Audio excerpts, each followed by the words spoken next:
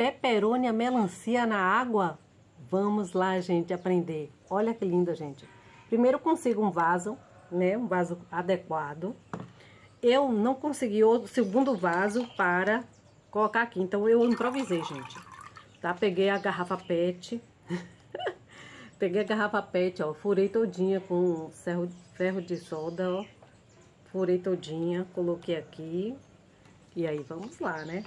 Se você gosta desse tipo de conteúdo, siga a gente aí para mais dicas, tá?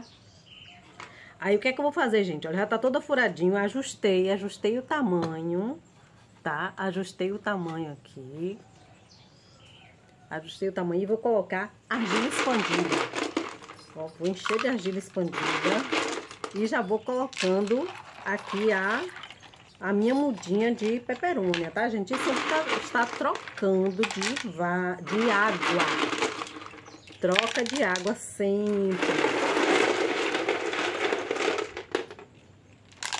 Pelo menos a cada 15 dias, troca de água e vai observando.